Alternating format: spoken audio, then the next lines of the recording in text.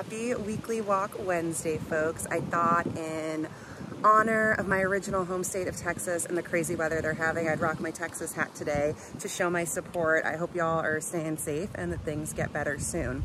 On the weekly walk front, this week I catch up with Selvam Ratinasabapati, who's the CIO at Kind, yes, like the bar, and we talk all things acquisition as a CIO, how the pandemic really changed the snacking industry last year and what Kind had to do to combat that, and of course, what Selvam's favorite Kind item is and the one that we should all get to the store and buy. So check out the walk and we'll see y'all soon. Bye guys.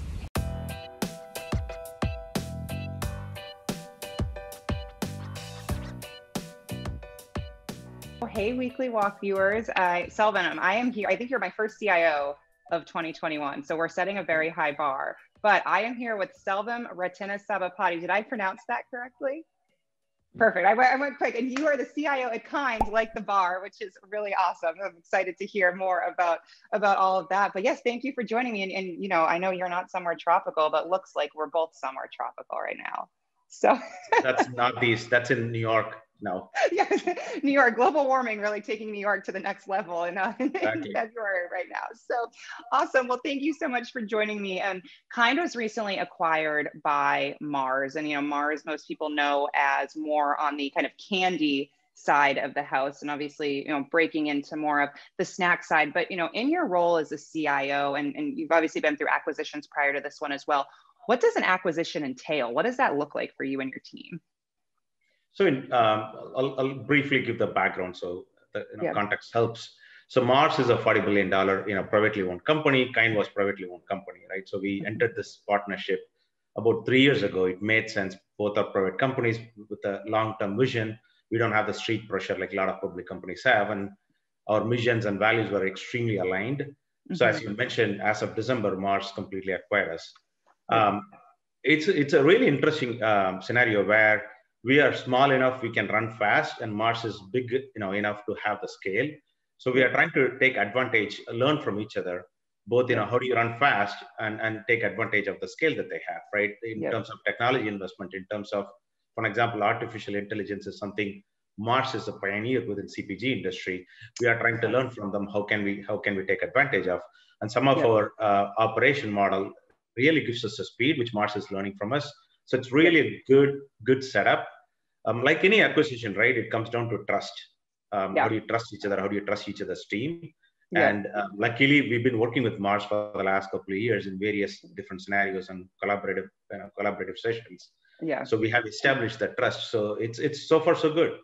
That's that's great. And I feel like I mean I well I suppose maybe less in the pandemic, but I'm like the the snack scene at those meetings must be pretty epic too between Kind and Mars coming together you guys can lot it. yeah, yeah. I mean, see, Mars people uh, uh, refer to us, you know candy company, as you said, but most people do not know. Most of the revenue comes from pet care. Um, oh. They're a huge pet care business. They have a huge okay. food business. Um, so we are, oh. they, you know, they, they are looking at kind uh, as kind of the platform for the health and wellness um, oh, the future. So we are, you know, we are pretty excited to partner with them yeah that's that's fantastic. Congratulations on that official acquisition. And then you know on the, the snacking um, side of things i was reading and certainly you know people the snacking industry changed in 2020 with the pandemic and you know how you know companies weren't in the office ordering you know huge quantities. I know you know we have kind bars at openview. How did you and your team support the changes in the snacking industry through digital experiences? I mean i know you've got this whole build a box on your website, but what other you know things came into play because of how people were purchasing snacks? Sure. So like every industry, right? Every company has gone through a transition in the last year. We have our own share of experiences too, in terms of you know the product mix that's being sold, how consumers buy the product, the behavior.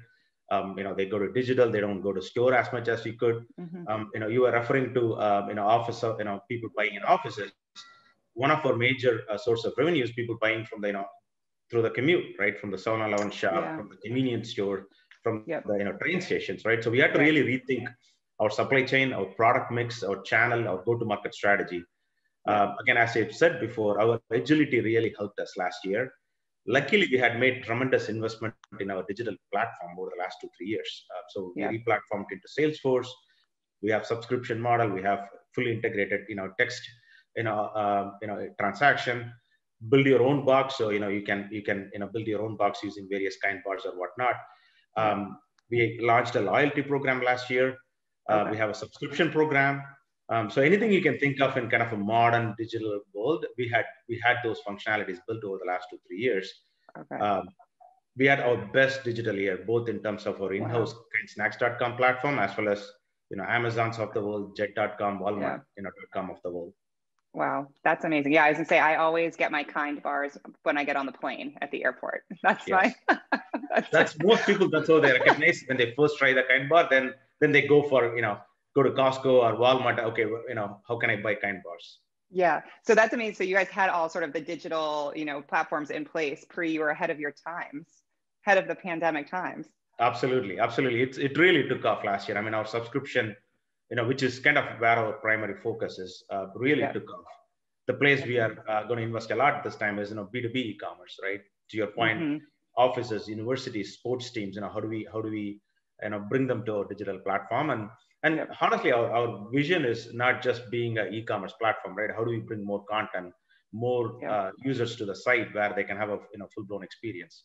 Yeah. Well, now they're going to see you on the weekly walk and know to go to the Kind website. Kindsnacks.com.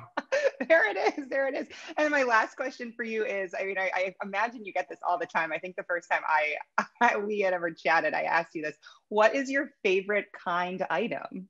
What should we all go out and try if you could narrow all, it down to one? All 100 of them.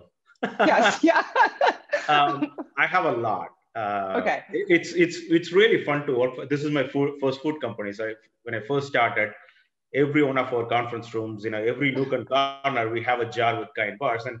I keep on trying every couple of hours, right? So now I mean, you can really try uh, all, all, the products.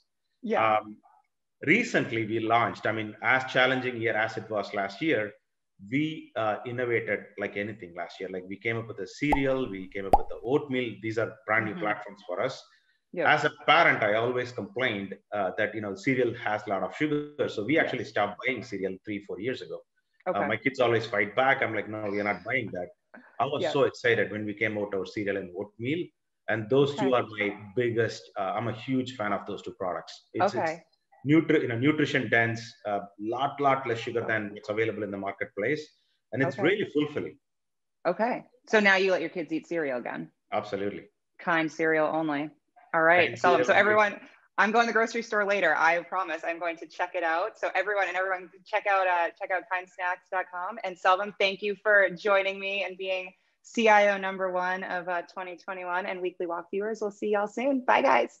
Thank you, Cassie.